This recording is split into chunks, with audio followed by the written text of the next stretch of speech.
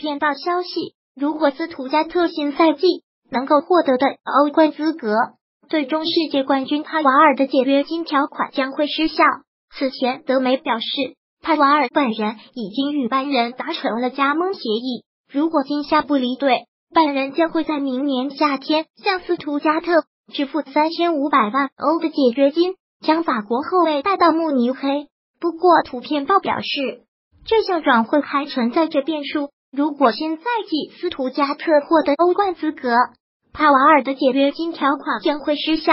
那时，如果拜仁还想要引进帕瓦尔，就必须与斯图加特重新商量转会费。目前，斯图加特内部不认为球队会在新赛季获得欧冠资格。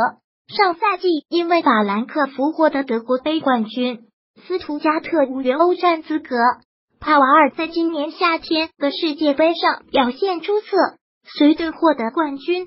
此前，德国媒体透露，拜仁在世界杯期间就已经联系帕瓦尔，并且已经达成了加盟协议。四颗足球 C and 免责声明：本文来自腾讯新闻客户端自媒体，不代表腾讯网的观点和立场。